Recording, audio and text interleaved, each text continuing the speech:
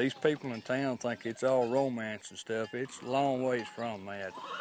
Well, low pay and hard work. About all I know about it.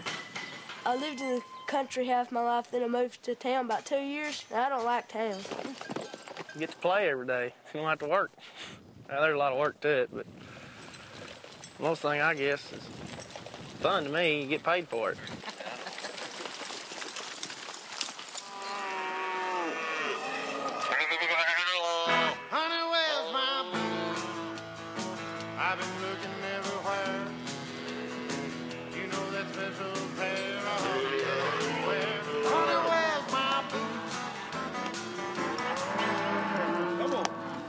My great granddad come over here from England and started punching cows. And my granddad worked for ranch all his life, and my dad's working for one now, and just kind of family tradition, I guess.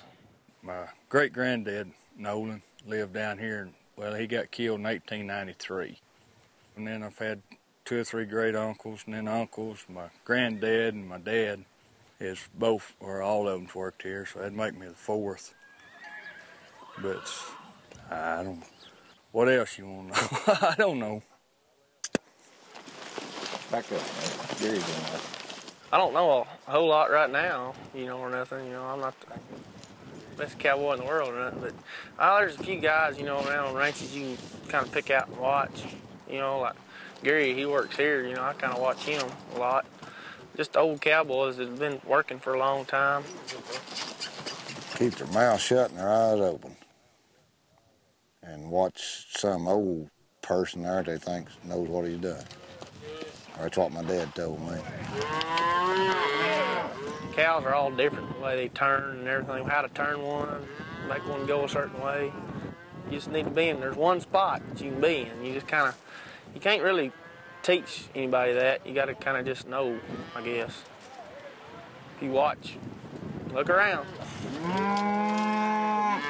You better go somewhere, you red sucker.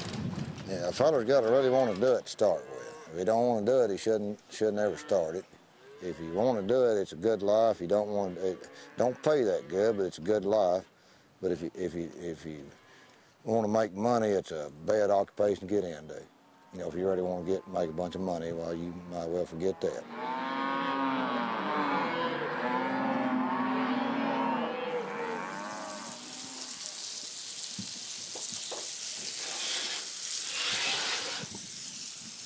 This is the same type wagon they've always had here. Well, I've been, I was born here in 52 and this same, same type. This is not the same wagon they had then. It was, I think this wagon come in being in the late 50s.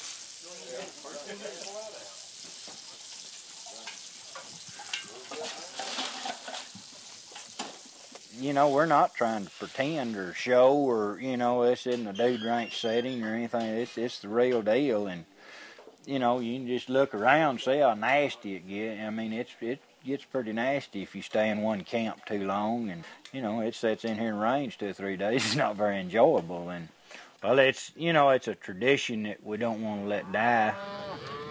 You know, it's just sort of part of the part of the cowboy life.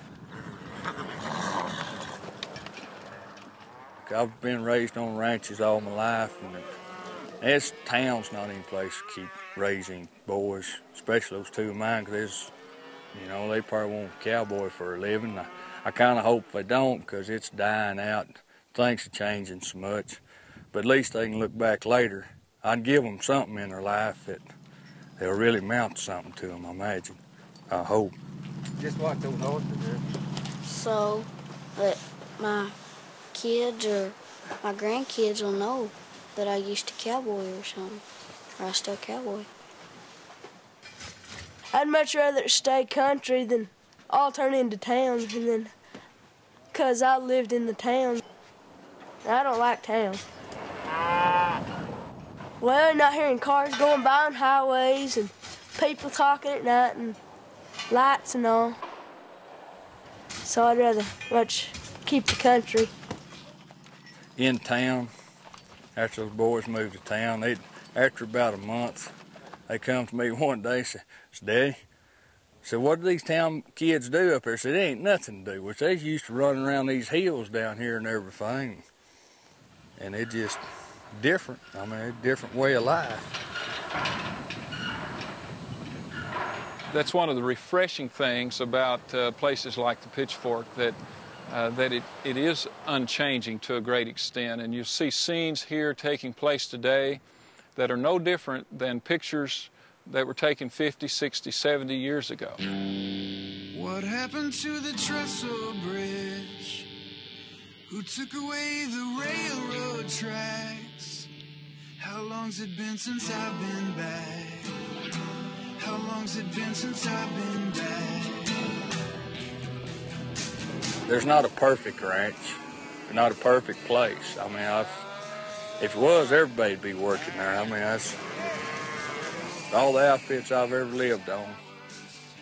This place right here, this country right here, to me is as close as I ever felt to have been at home.